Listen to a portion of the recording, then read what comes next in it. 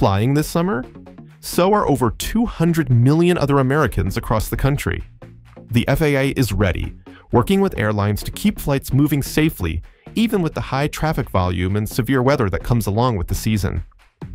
When storms approach, air traffic controllers first use miles in trail, separating flights by a set number of miles to proactively manage traffic flow. The next step is to reroute traffic around storms, just like a detour around a roadblock. Since rain below the clouds rarely affects flights, controllers can cap altitudes. Likewise, flights taking off can safely tunnel below incoming flights. Flying above the clouds isn't an option, since storm clouds usually rise too high and block altitudes commonly used by airlines. If all rerouted aircraft are deviating through the same opening in the weather, air traffic controllers use time-based metering to avoid congestion, sort of like scheduling traffic lights. These algorithms are regularly adjusted throughout the day based on data from meteorologists.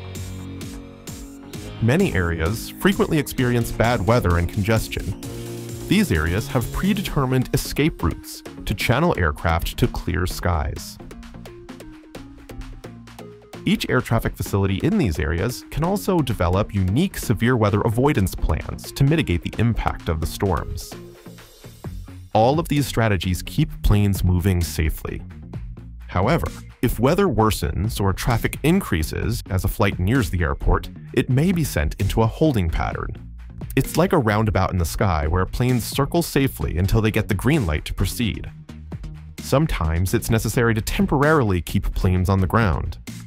A ground stop prevents planes at one airport from taking off to avoid being put into a holding pattern at their destination.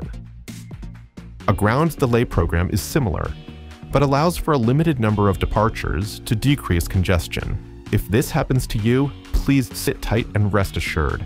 The FAA is working to get you safely to your summer destination.